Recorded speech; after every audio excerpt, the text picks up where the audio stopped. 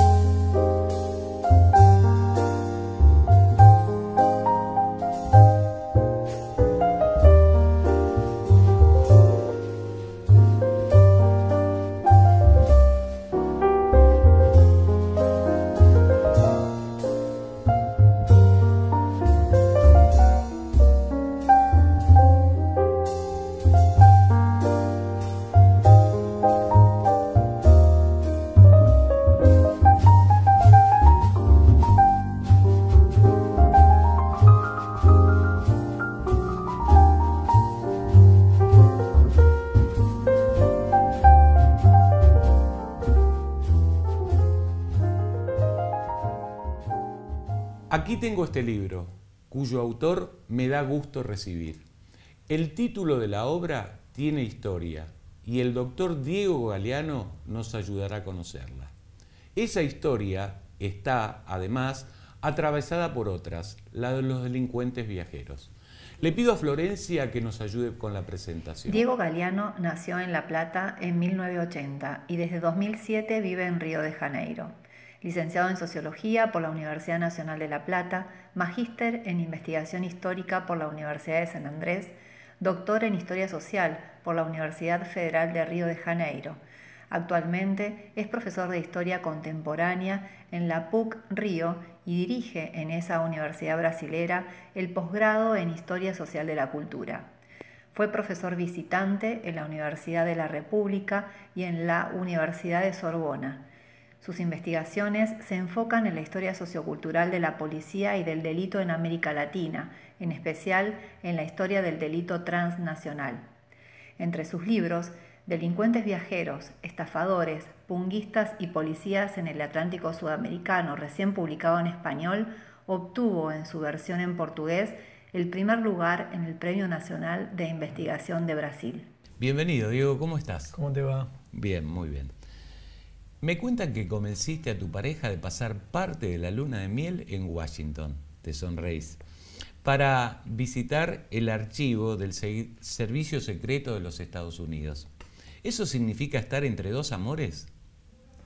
Eh, bueno, que el archivo es un amor, es verdad. Eh, y lo otro también es verdad. Eh, en realidad yo tenía un poco el viaje, el viaje armado antemano, pero, pero fui al, a ver el archivo del Servicio Secreto de los Estados Unidos en, Washington eh, para la investigación nueva que es sobre, sobre falsificadores de billetes. Sí, sí, te escucho, discúlpame. Y no, fui a, mm, eh, digamos, esta investigación nueva que estoy haciendo eh, tiene un poco esa característica. En, el libro este que, que, ustedes presentaron, trabajé sobre todo con el archivo de la Policía de Río de Janeiro, es una historia más serial, digamos, que, que acompaña un archivo en particular, pues te puedo contar por qué. Eh, y en esta nueva estoy trabajando con archivos de distintos países, siguiendo la trayectoria de dos falsificadores de dinero. Entonces uno de ellos falsificó en el final de su vida, en los años 40 dólares, y lo persiguió el FBI y, el Servicio Secreto, que es la autoridad de Estados Unidos que se encarga de la seguridad del presidente de la nación y de la falsificación de dinero, básicamente. Eh, y entonces eh, tiene todo un file, digamos, todo un archivo de, este personaje que estoy siguiendo ahora. Decime, Diego, ¿sos un investigador viajero? Sí, eh, cada vez más, cada vez más. de alguna forma vivo en Brasil porque, porque seguí un poco las rutas de, de, un, de la documentación policial. me interesó lo que estaba en el archivo de la policía, en el Archivo Nacional de Río de Janeiro. Eso me llevó a vivir en Brasil. Eh, hacer mi doctorado en Brasil, a trabajar hoy en la universidad ya también. Y sí, trabajo, me gusta, me gusta seguir las rutas de las mismas rutas que, No es fácil, es demandante, ¿no? Tener que estar siguiendo las rutas de estos personajes, por calificarlo de alguna manera. Sí, se, mm, sí a veces implica, eh, por ejemplo, eh, uno tiene dominio de idiomas diferentes, ¿no? Eh, yo con el portugués tengo mucha fluencia, digamos, hablo muy bien. español obviamente también. inglés me manejo bien, pero por ejemplo francés tengo un poco más de limitación. uno de estos falsificadores que estoy siguiendo ahora es de Francia y tiene esos bemoles, digamos. O sea, tuve que ir como sobreviviendo, arreglándome en los archivos municipales, aparte del interior de Francia, donde nació uno de estos personajes, para, hacerme entender, para obtener información. Eh, yo creo que lo que, si tengo que trazar un paralelo entre los personajes del libro y lo que me pasa a mí, eh, yo creo que yo reconstruyo un mundo de aventureros, ¿no? de un mundo de aventuras del dinero, de aventuras de posibilidades de, lucrar. Son todos personajes que tienen, tienen esa dimensión eh, y que los movía cierto, cierto espíritu de riesgo. Em, y, iban de un lugar al otro con, estas, con, estas, con estos oficios. Eh, y a mí un poco sí me mueve también esa cosa aventurera con los archivos. Eh, ¿Te genera adrenalina, digo? Sí, alguna adrenalina genera el archivo. Al referirte a la obra de Foucault titulada La verdad y las formas jurídicas, escribiste que siempre se vuelve al primer amor. ¿Por qué algunos sociólogos se enamoran de la obra de este filósofo? Sí, eh, escribí, escribí eso eh, evocando el tango, ¿no? Eh, pero, pero es un prefacio del libro un poco nostálgico, como el tango, en el que traté de pensar cómo, un poco cómo había llegado a ese punto de, ser un historiador del delito. ¿no? yo primero no soy historiador de formación, soy sociólogo. Y, y, una vez que terminé ese proceso, fue muy largo, fueron más de 10 años, de investigación, eh, escribí, me acordé, ese, me acordé de una primera lectura, que era ese libro, La, verdad y las formas jurídicas, en un primer curso de introducción a la filosofía que tuve en la Universidad de La Plata, que fue donde yo hice el, grado en, sociología. Eh, y de hecho sí, la, obra de Foucault un poco que en ese momento en ese momento todavía estaba traduciéndose, por ejemplo, los cursos en el, del Colegio de Francia, eh, fue, fue una puerta de entrada, eh, pero de la que después uno se aleja también, ¿no? Porque eh, sobre todo cuando vas a hacer lo que yo hice, el camino que yo seguí, que es la historia social, la, digamos, esos marcos teóricos tan rígidos no, no, no te sirven tanto. En el prefacio de esta edición te referís a la primera. Contanos acerca de aquella ocurrida en 2016 y cómo se transforma tu tesis en este libro. Eh, bien, lo primero que. El, primer impulso para la transformación de la tesis en libro, que no es un camino natural, ¿no? no tiene por qué transformar, transformar una tesis de doctorado en libro, no puede transformar en pequeños artículos, en revistas especializadas, eh, fue que la presenté para un premio que en Brasil, que es el Premio Nacional de Investigación que da el Archivo Nacional. Eh, bueno, ganó el primer lugar y, la editorial del propio Archivo Nacional la publicó. Eh, eso fue todo un primer trabajo, ¿por qué? Porque yo trabajé con fuentes que están en portugués y en español, ¿no? revistas policiales, diarios, eh, periódicos, magazines, semanarios, eh, documentación inclusive que a veces está en Brasil, pero está en, español, porque son cartas, telegramas que mandaba la policía de Buenos Aires o la de Rosario persiguiendo estos ladrones que circulaban en el, espacio atlántico. Em, y entonces yo creé como una especie de primer gran borrador en portuñol, eh, manteniendo las citas originales para no perderlas. Eh, y después eso lo transformé en un, en un borrador que lo mandé al, al, premio del archivo en portugués y fue todo un proceso de escritura que es muy diferente de este libro en realidad. eh, porque trabajé con dos editores mm, diferentes, uno que era, digamos, que me ayudaba un poco a mejorar el portugués, eh, y este, la editorial Siglo XXI, que tiene un trabajo muy fino con, eh, buscando por ahí salir de los lectores puramente académicos, ¿no? Entonces fue otro trabajo diferente. El premio del Archivo Nacional buscaba transformar el portuñol en portugués y este buscaba, buscaba agilizar un poco la prosa, eh, reducir el aparato erudito. Los ladrones y la delincuencia en general forman parte del interés de la producción de este programa, aunque no solamente los ladrones del pasado. ¿A quién le interesa una historia de ladrones además de la producción del Isel TV? Mira, en eso, curiosamente, pese a las enormes diferencias que hay entre Buenos Aires y Río, entre Brasil y Argentina, te diría que hay un público eh, lector eh, de, historias de delincuentes que, mm, que, es común en ambos lugares, eh, que tiene que ver un poco con el mundo de, de los adoradores del pasado urbano.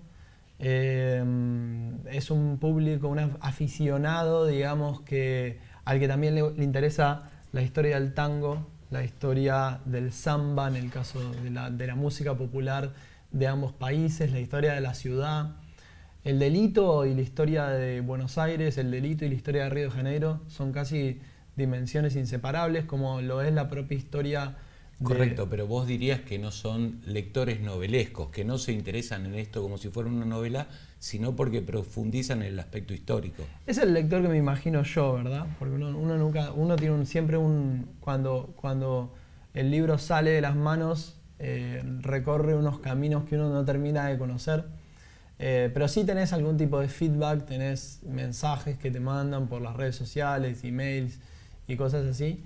Y, y sí yo percibo mucho eso, el lector que eh, le interesa el vínculo entre un tango, la obra de Roberto Art y un determinado delincuente sobre el cual Roberto Art escribió o este otro cronista. Por ejemplo, el mundo de las personas que les interesa el lunfardo, la historia del lunfardo, la historia de esas palabras que de hecho tienen un, pasado en común un poco convergente con, el mundo del delito. ¿no?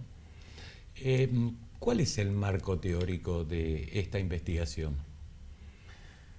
Bueno, eh, a, mí, a mí me gusta un poco más pensar o, trabajar en, eh, cuando, cuando escribo historia en, la teoría como caja de herramientas, digamos, no es como un marco en el cual vos te, te movés, sino con, un conjunto de, de, nociones, de conceptos, de ejemplos, de obras ejemplares de cómo otros autores han trabajado estos mismos temas.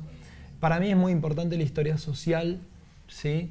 Eh, en particular, digamos, todo un paradigma que viene del, marxismo inglés, que, ha tendido a, preocuparse por eh, pensar la historia, como se dice, desde abajo, digamos, es decir, pensarla desde personajes que no son los que nosotros habitualmente encontramos en los manuales escolares, no es la lógica de los próceres, eh, de los nombres habituales de los que hicieron historia, intentar entender cómo hicieron historia otros personajes eh, que son trabajadores, que son trabajadoras, eh, que son muchas veces ladrones, estafadores, policías también. A mí el punto de vista de los policías es algo que me interesa mucho en esta obra y que me llevó inclusive a alejarme de, a tomar bastante distancia respecto de cómo las ciencias sociales, no solo yo, otros colegas míos que piensan el mismo tema, como las ciencias sociales piensan al policía como una especie de, actor maldito y de, persona que, como ya presuponemos todo lo que piensa, no necesitamos investigarlo, ¿no? porque ya es obvio y, a veces la policía y los policías son actores, son actores más complejos de lo que, de lo que las ciencias sociales imaginan. Los procesos migratorios son el telón de fondo de esta investigación. ¿Qué relación puede establecerse entre migración y delincuencia? Bueno, digamos, el punto de intersección entre migración y delincuencia es un largo, es un largo, una larga cuestión en, el pensamiento criminológico, por ejemplo, si pensamos en obras como la de José Ingenieros, acá en, en la Argentina, para mencionar algunos, que han sido médicos, abogados que se han dedicado a pensar el tema de las causas del delito y marcaron en la inmigración, en la, digamos, en la interfase raza-delito, un punto de explicación de los cuales la criminología crítica, la sociología crítica, tomó mucha distancia. En este caso yo trato de pensar eh, la, la, relación entre inmigración y delito desde otro punto de vista, fundamentalmente desde el punto de vista de qué tipo de oportunidades de negocios ¿sí?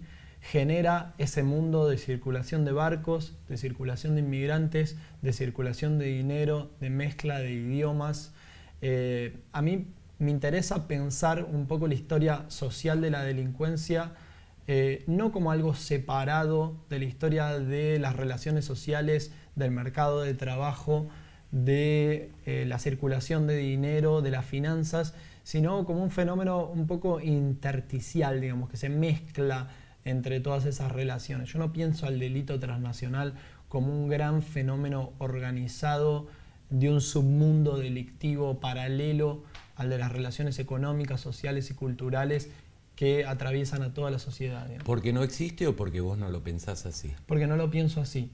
Porque no lo pienso así. Yo creo que el delito organizado, eh, digamos, el delito es organizado en el sentido que son organizadas muchas actividades sociales eh, pero, pero hay toda una escuela para pensar el delito organizado, que es la idea de que el delito, el delito organizado es un tipo de delito no ocasional, profesional, regular, sometido a determinadas reglas, con una, una especie de división del trabajo interna. Por ejemplo, eh, Sutherland, que es un, gran, un autor eh, norteamericano muy importante, que escribió en los años 30 sobre esto y marcó toda una escuela, lo piensa de esa manera, tiene un libro que se llama El delincuente profesional. Eh, yo tiendo a pensar que las fronteras entre el mundo, yo y, toda una tradición de antropología, de sociología del delito también, ¿no? Eh, que el delito es un fenómeno, que las fronteras entre el mundo del delito y la economía, por ejemplo, o entre el mundo del delito y el mundo de la cultura son mucho más permeables. ¿sí? Que el delito es una especie de ventana para entender problemas sociales más amplios. Decime, ¿cuáles fueron las hipótesis de tu trabajo de investigación y cuáles verificaste? Yo parto de. traté de entender un poco una cosa que me sorprendió. ¿no? uno en, este tipo de investigaciones históricas siempre parte de algún tipo de, curiosidad. Hay algo del, orden, del orden de la curiosidad que rige estas investigaciones. Eh, y, esa, esa, primera cosa que me llamó la atención fue el hecho de encontrarme una cooperación muy temprana entre las policías de América del Sur. ¿sí? Em, digamos, la, la, cooperación policial es algo que muchas veces eh, se asocia más a las dictaduras. ¿sí? El, caso más, más notorio es el de la Operación Cóndor, ¿sí? el del Plan Cóndor. Eh, en el que sabemos que han cooperado fuerzas policiales y militares de Argentina, Chile, Brasil, Paraguay, Uruguay. Eh, y yo me encontré con unas actas de una conferencia sudamericana de policía de 1905 que inicialmente fue esa sorpresa, eh, ver eh, todo un mecanismo de cooperación para qué? para intercambiar información sobre lo que ellos llamaban sujetos peligrosos, que iban desde algunos militantes de izquierda, anarquistas en particular, hasta eh, ladrones, lo que podríamos llamar ladrones comunes. ¿sí? Eh, y, lo que intenté, la primera pregunta, yo creo para pensando en, en hipótesis, digamos, la primera pregunta fuerte que yo me hice es si eso había había quedado, digamos, un poco anclado en una especie de, como muchas veces pasa en el mundo de la alta política, digamos, de, de buenas intenciones o malas intenciones, depende de cómo cada uno eh, piense ese fenómeno, eh, pero en una especie de relación protocolar entre las policías que no había tenido ningún tipo de efecto concreto en las prácticas de vigilancia, en, el funcionamiento de la justicia penal, en la relación entre policía y justicia, eh, o si de alguna manera eso había tenido alguna, algún efecto concreto en intercambios efectivos entre las policías y eso es lo que me lleva al archivo policial a buscar si había evidencias de, esa cooperación que los policías con bombos y platillos declaraban que se inauguraba en 1905. Y efectivamente eh, eh, entre los descubrimientos descubro cajas y cajas de intercambios de fichas, de fotografías, de telegramas, que eh, tuvieron un efecto muy concreto en, la vida de muchas personas. algunas se dedicaban más regularmente a determinadas estafas, a determinados robos, y otras que eh, de las cuales la policía se quería deshacer y le atribuían el rótulo de delincuente peligroso o delincuente internacional para mandarlo a Europa de nuevo. Claro. De esas fuentes que consultaste o de las fuentes que consultaste, ¿cuáles descartaste y por qué? Es súper interesante esa pregunta al descarte, me parece, porque en efecto el trabajo del historiador eh, es un trabajo de poda permanente, ¿no? Uno lee miles y miles de documentos y usa un fragmento eh, muy chiquitito y además se abren millones de caminos, digamos, ningún objeto es delimitado por naturaleza, siempre es, eh, se ramifica en millones de, cuestiones. Yo me enfoqué mucho, por ejemplo, en eh, algún, algunas prácticas delictivas que me parecían especialmente relevantes para esa respuesta para esas preguntas que yo me hacía sobre la cooperación policial, que son redes de punguistas que viajaban entre las ciudades eh, conectadas por esos mismos barcos, que eran ladrones de hoteles que empezaban a aprovechar eh, las posibilidades de hospedarse, eh, haciéndose pasar por hombres de negocios en hoteles sobre todo del centro, de la Avenida de Mayo, en, en Buenos Aires, de la Rúa Catete, en, Río y otras ciudades. Eh, trabajé con estafadores que son los que acá en el Río de la Plata eran conocidos como cuenteros del tío, el fenómeno del cuento del tío, que es un fenómeno muy... Eh, Me recuerda a la película Siete Reinas. Claro, claro, exactamente. Y es un fenómeno que tiene mucho que ver con las inmigraciones. O nueve reinas, dije siete, nueve reinas. Exactamente, con, es la de...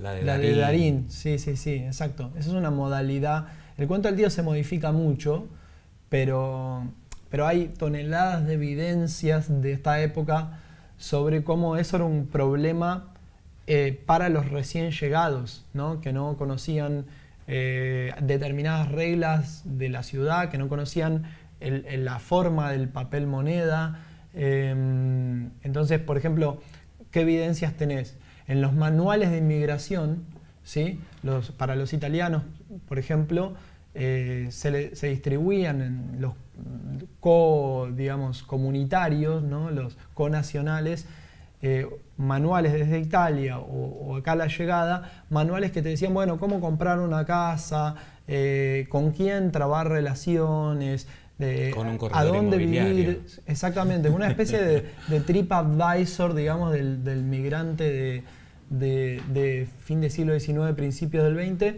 y hay manuales italianos donde dicen, la, expresión de cuento del tío en italiano era trufa la americana, que es parecido, parecido como se le decía en Francia, eh, y, que advertían sobre eh, guiones estables de estafa a los cuales eran sometidos los italianos. Entonces, esos son los personajes con los cuales yo trabajé. ¿Qué recorté? ¿Qué dejé por fuera? Bueno, dejé por fuera, por ejemplo, cosas que estaban más investigadas que es la circulación de mujeres y de hombres acusados de proxenetas, mm. eh, ¿sí? que es un tema que la historia social, en particular la brasilera, trabajó bastante. Algunos caminos los dejé de lado porque me parecían que estaban mejores estudiados y que yo me podía apoyar más. Eh, otros los dejé porque los quise abordar más adelante, como el tema de la falsificación de dinero o de la vigilancia policial del anarquismo, que estoy trabajando ahora con Martín Albornoz, con un colega de acá de, Argentina, sí, del CONICET. Eh, entonces, bueno, hice, tomé muchas decisiones. Uno toma decisiones de recorte permanentemente. ¿Qué papel se le puede atribuir a la prensa en la constitución de los circuitos de escritura eh, policial? Sí. Em, yo en ese libro trabajo mucho con, policías escritores. De hecho, con, otro colega brasilero publicamos un libro exclusivamente sobre eso que se llama eh, Policías Escritores, Delitos Impresos, que es sobre revistas policiales sudamericanas. Eso tal vez para nosotros es, es un poco difícil de, visualizar, el lugar que tenían los magazines policiales y las revistas policiales. Algunas de ellas escritas por propios policías, por ejemplo, por ejemplo a principios del siglo XX.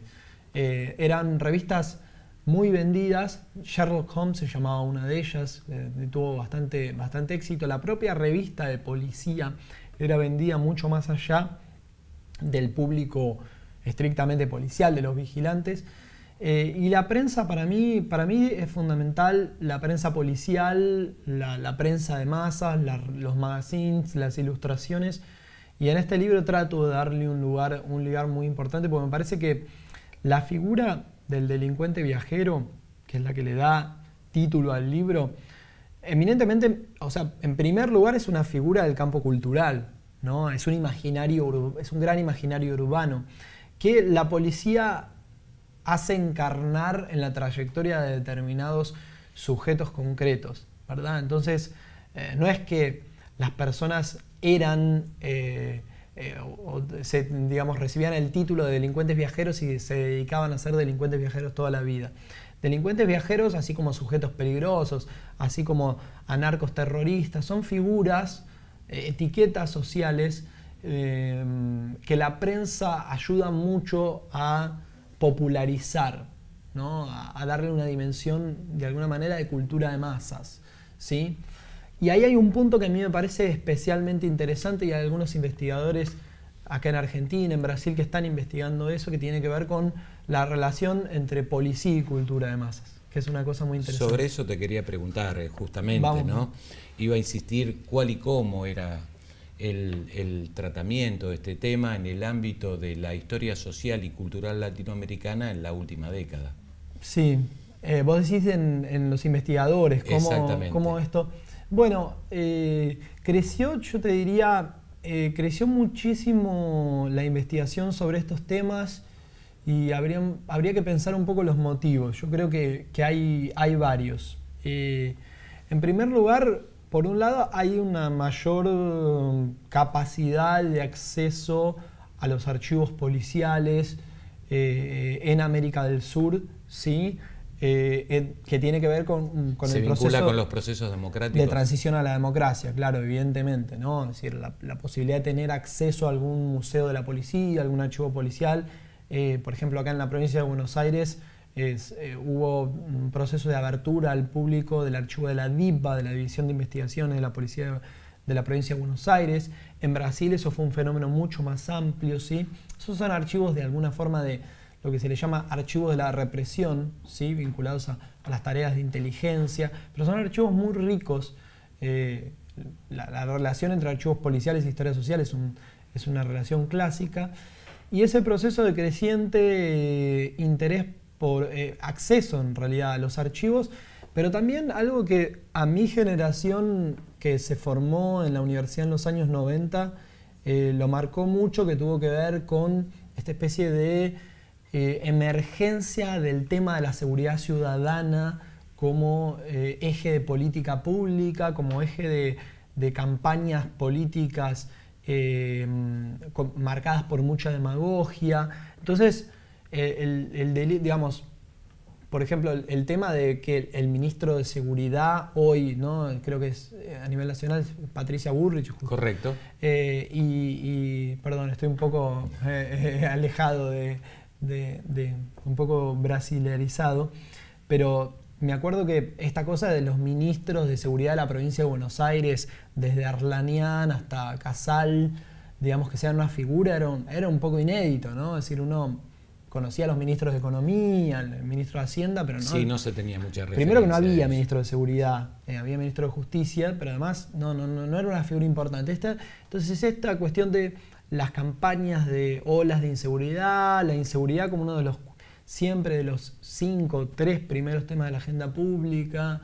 Eh, bueno, de alguna manera generó preguntas que calaron en antropólogos, sociólogos, historiadores, yo te diría en los últimos 15, 20 años. mis investigaciones claramente forman parte de ese campo de diálogos eh, que, que, tuvo un desarrollo en Argentina, que tuvo un desarrollo en Chile, eh, un poco menos en Uruguay y en Brasil ya tenía un tenía, tenía una historia también, inclusive de colegas que nos juntábamos cada tanto como los delincuentes en, en alguna ciudad de, América del Sur y, dialogamos. ¿Qué tipo de ladrones traspasaron fronteras nacionales y qué estrategias de ilusión encontraste en ellos? Eh, bien, em, una de las cuestiones que trato de estudiar acá eh, es justamente esa cuestión de el viaje como estrategia de ilusión, ¿no? Es decir, eh, ¿y por qué? Uno se pregunta, bueno, ¿por qué viajaban? ¿Por qué llevaban robos de un lugar al otro? Y eso no tiene una respuesta unívoca. Hay varios motivos por los cuales estos sujetos viajaban, que, insisto, podían ser en algunos casos ladrones que uno ve que mantienen una carrera a lo largo de las décadas, personas que entraban y salían del mundo del delito, por ejemplo, el caso de los falsificadores de dinero que estoy estudiando ahora como un poco más en profundidad, en realidad eran fotógrafos, ¿sí? eran personas vinculadas al mundo de la, fotografía. de la litografía, del grabado, y podían un poco entrar y salir del oficio del fotógrafo o, del litógrafo que trabajaba para una prensa, etcétera, y, el mundo del, crimen. Eh, y viajaban porque se hacían conocidos de la policía, ellos mismos o porque el tipo de guion, digamos, de, que, que, usaban para cometer determinados delitos se hacía conocido en la ciudad. Eh, viajaban para huir de, las, de la justicia, viajaban para huir de alguna, alguna persecución policial y por último viajaban mucho también no por motu propio, digamos, viajaban porque eh, los expulsaban. Comienzo del siglo XX, tanto Brasil como Argentina, y eso es fundamental para la investigación del libro, sancionaron leyes de expulsión de extranjeros indeseables, conocidas como ley de los indeseables, sobre todo en Brasil. Eh, fueron leyes que le dieron a la policía un gran poder discrecional de seleccionar determinados sujetos que se declaraban nocivos para los intereses de la República y que eran embarcados por la policía marítima, seguidos por un vigilante hasta el puerto, embarcados en un barco y llevados a su supuesto destino natal o donde tenían familia. Eh, entonces muchos también hay una especie de relación de reciprocidad entre las prácticas represivas y la propia expansión del delito viajero, digamos, porque las, prácticas de expulsión van a generar eh, también redes internacionales en el caso de los ladrones. Y eso, eh, por ejemplo, para los anarquistas es muy claro, es lo que te contaba que estaba estudiando ahora un poco más en profundidad con un colega de acá, que es cómo eh, no solo tenemos que pensar estas leyes de expulsión, que se aplicaron mucho a, los anarcos para desarmar focos de resistencia obrera, ¿sí? como además de desarmarlos también provocaron redes de solidaridad internacional entre los anarquistas, ¿no? que, se empezaban a, difundir siguiendo estas, estas rutas de los expulsados. Las fotos del libro permiten ver personas, en general hombres de aspecto cuidado, ¿Cómo era la apariencia de estas personas en el siglo XIX? Bueno, la apariencia era una herramienta en realidad, porque ahí hay una cuestión importante que yo necesito aclarar, digamos. O sea, em, la figura del delincuente viajero es fundamental para entender un problema de época vinculado con este mundo de las migraciones y entender un mundo de oportunidades de negocios más o menos delictivos. Y para, ese, para el mundo de los negocios, la apariencia es fundamental porque esos negocios se basaban básicamente en la confianza. ¿no? La confianza de recibir o dar un cheque, la confianza de, emprender una determinada transacción económica. Esta es una época en la cual la monetarización de la vida cotidiana está creciendo eh, de manera superlativa día a día. O sea, el uso de papel moneda en particular para transacciones cotidianas. ¿no? Eh, y también la propia ilusión del dinero fácil, eh, ¿sí? que se refleja claramente, por ejemplo, en la literatura de Argentina y de Brasil, en la gran crisis de la bolsa de 1890. La bolsa de Martel, acá es una, pieza literaria que habla de eso, ¿no? habla de personas que están queriendo ascender socialmente en base a eh, negocios más o menos espurios. Entonces, En realidad, el fenómeno de los delincuentes viajeros se, se, ancla, ancla en, esa, en esa trama social en la cual la apariencia era fundamental. Por atrás de eso vos tenés una masa enorme, claro, de pequeños rateros que eh, eh, oscilan entre, entre una changa... Hacían el trabajo sucio. Sí, que no eran rateros permanentes. Eso está bien estudiado por la sociología del delito del, menudeo, digamos, o del narcomenudeo hoy o del menudeo del robo. No son personas que son profesionales del delito, son personas que pueden eh, alternar cuatro meses de trabajo en una zafra en esta época con eh, épocas de, de, poco dinero y de mucha necesidad en las cuales se meten con determinadas actividades delictivas. Em, pero digo, esa es la gran masa de, los detenidos por la policía, no estos delincuentes de saco y corbata que yo estuve. Te, iba a preguntar, Diego, eh, digo que además de ser personas de buena apariencia, ¿eran personas cultas? Algunos, yo diría, la, sabían leer y escribir, que no era poco para, la época. Para la época, incluso, por ejemplo, tomemos este dato, no era poco para la relación con la policía.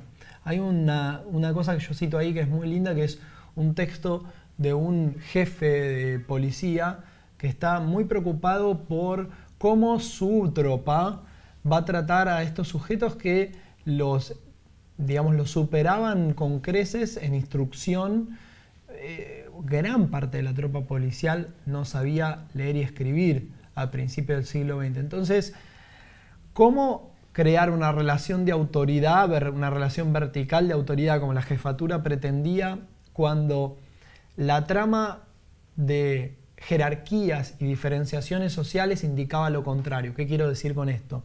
Que las jerarquías eh, de apariencia que incluyen color de piel, ¿sí? jerarquías raciales y violencias raciales cotidianas, indicaban que este delincuente blanco con monio, eh, era social y jerárquicamente superior al policía que lo tenía que detener, sabía leer y escribir y el policía no. Entonces eso generaba em, algo parecido a lo que va a generar más tarde, en los años 20 y 30, la cuestión del auto, ¿no? que es, por ejemplo, en Río de Janeiro, un, buena parte de la tropa policial eran eh, afrobrasileros, ¿no? que tenían que detener porque un señor de clase media alto o alta estaba manejando mal y cómo, cómo en una sociedad tan racializada y donde las jerarquías raciales se imponen eh, en las relaciones sociales cotidianas. Eh, ¿Cómo afrontar esa situación? Cómo, ¿no? el policía imponía su autoridad. Entonces ahí eh, lo interesante justamente de estos delincuentes viajeros es cómo ponen en juego esas jerarquías sociales que se trastocan, cómo choca la, autoridad, eh, digamos, ungida por el, traje policial, por el uniforme policial, contra otras lógicas mm. que operaban al costado. Maletas de doble fondo formaban parte de los elementos utilizados por estos delincuentes. ¿Qué otros elementos abarcaban su logística? Bueno, ahí dependía mucho de, cada uno tenía su, arsenal ¿no? de, instrumentos. Eh, un poco lo que caracterizan a, los tipos de delincuentes que yo trato de, estudiar acá es un escaso uso de la violencia. ¿Sí? Entonces, ese arsenal no tiene tanto que ver con eh, cuchillos y armas, aunque claro, como en una sociedad bastante armada y donde la autodefensa imperaba todavía, donde la autoridad policial eh, no, la autoridad policial nunca impuso un monopolio sobre completo ¿no? sobre, sobre la regulación social de, de, violencias que, circulan por fuera de la autoridad. Pero en este momento, digamos, la resolución interpersonal de conflictos era todavía, todavía más fuerte. Eh, y, y, claro, ellos obviamente se les incautan armas, pero las armas no eran objetos vinculados específicamente a su modus operandi. Em, ganzúas, la de instrumentos para abrir las puertas en el caso de, ladrones de hoteles. Eh, el cuentero del tío es un, es, digamos, un oficio bastante despojado, bastante eh, vinculado a la labia, digamos, al, al chamullo, como se le dice en el Río de la Plata. Sin embargo, algunos, algunos guiones del cuento del tío eh, sí involucraban instrumentos, te, te cito dos. Uno era el paco, como se le conocía en Lunfardo, y en varios países te diría de que no tiene nada que ver con el Paco. Sí, que hoy eh, conocido. Conocido por que es la droga. El Paco era un paquete de billetes falsos, ¿sí?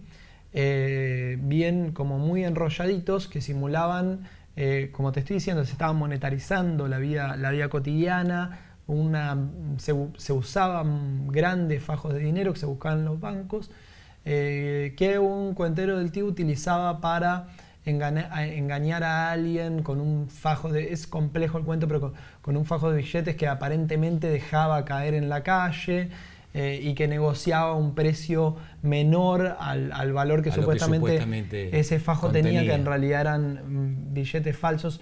Otra es una, máquina que se llamaba el, eh, digamos, el, filomillo, que era una, así se lo conocía en lunfardo, o la guitarra, que era una falsa máquina de falsificación de dinero.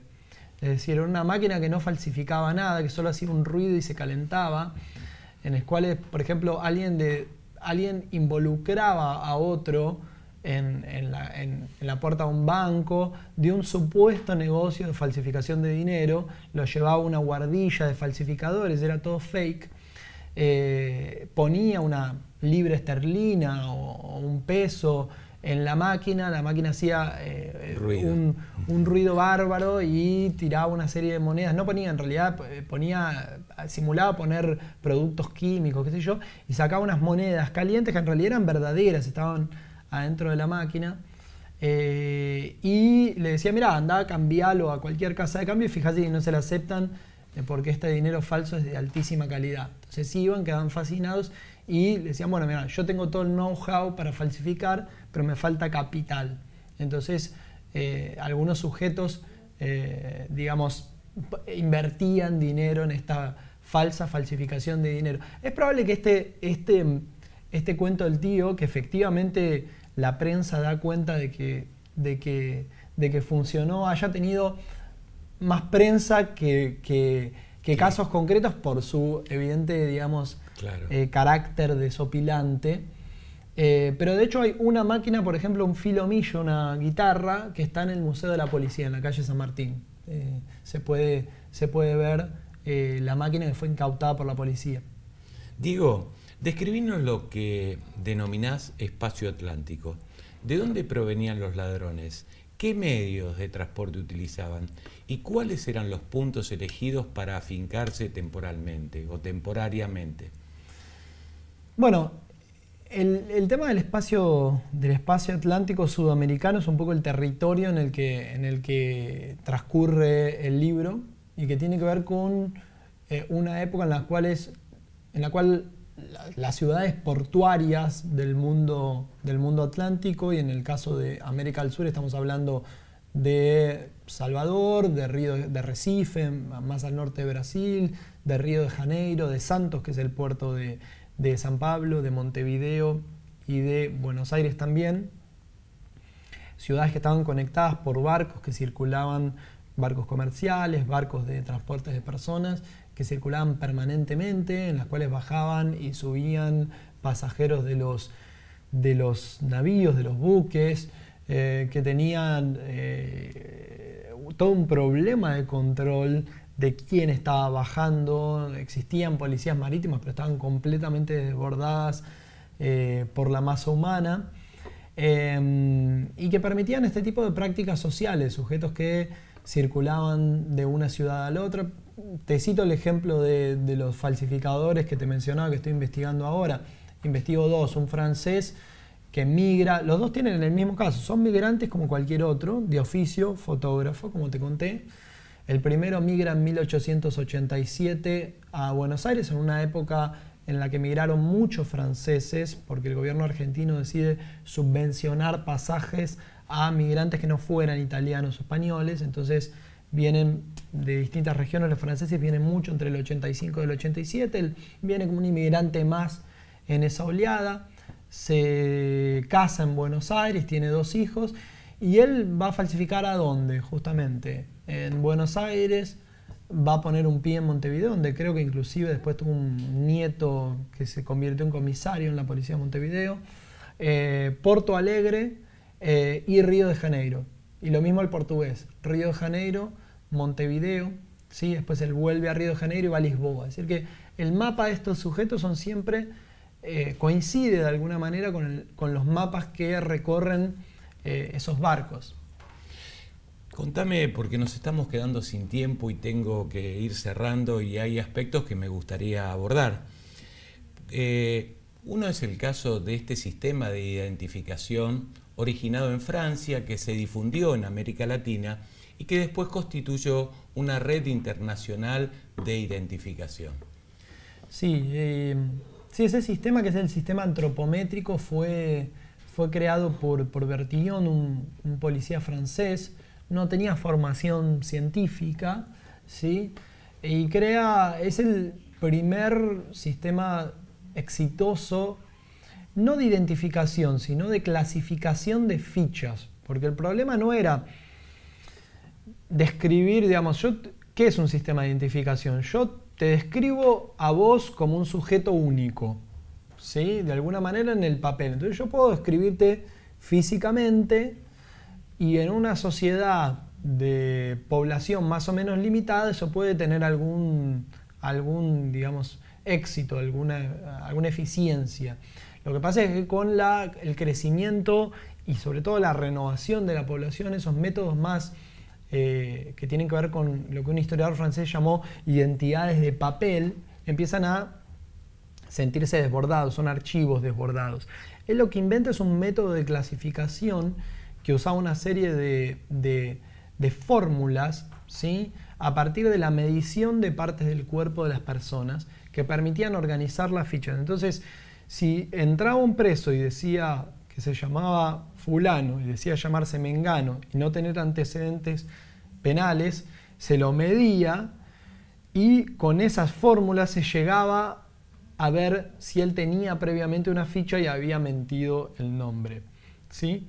Ese sistema se va a generalizar, se va a adoptar en Estados Unidos, en Francia, en la década del 80 y acá en Buenos Aires en el 89, o sea, pocos años después de Francia, inclusive antes que se imponga por, nacionalmente en Francia, ¿sí? inicialmente fue solo en París, ya se había adoptado acá en Argentina, después se adopta en Brasil, en Uruguay. Entonces fue un periodo de circulación internacional de tecnologías policiales. Ese método, que es el sistema antropométrico, se va a reemplazar más tarde por las impresiones digitales, por la dactiloscopía, que inventan simultáneamente y en distintos lugares eh, otras policías del mundo. Uno de los que más se impuso internacionalmente fue la que, la que inventó acá en Argentina un, migrante, un migrante croata, Juan Bucetich, que también está bastante bien estudiado y una investigadora de acá Argentina que hizo un libro, un libro muy lindo, Mercedes García Ferrari, sobre, sobre Juan Bucetich en particular.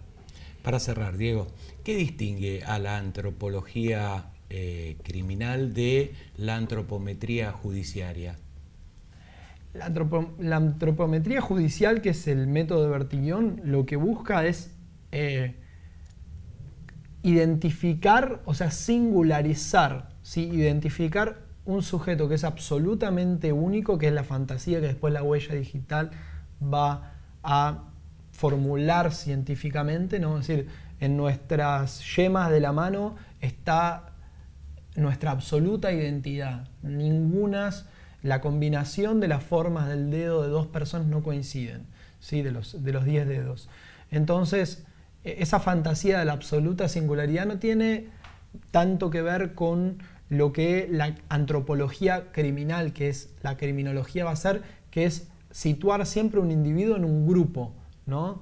Eh, el, el, delincuente peligroso, el delincuente habitual, es decir, toda una tarea de de lo que en inglés se llama labeling, de etiquetamiento de personas, que es taxonómica, o sea, crea clasificaciones. Son lógicas opuestas, digamos. Una crea clasificaciones, sitúa el individuo en un conjunto y el otro singulariza, dice el individuo es absolutamente único. Esto es lo que más le preocupaba a la policía. A la policía le preocupaba menos crear eh, explicaciones de la causa del delito a partir de taxonomías y sí determinar si un sujeto tenía antecedentes penales, que es lo que le necesitaba informar a la justicia. Diego, gracias. Espero que hayas estado cómodo. Muy cómodo y les agradezco la invitación. Al contrario. A vos también, gracias por acompañarnos. Te espero la próxima semana. Te deseo tiempo y buena vida.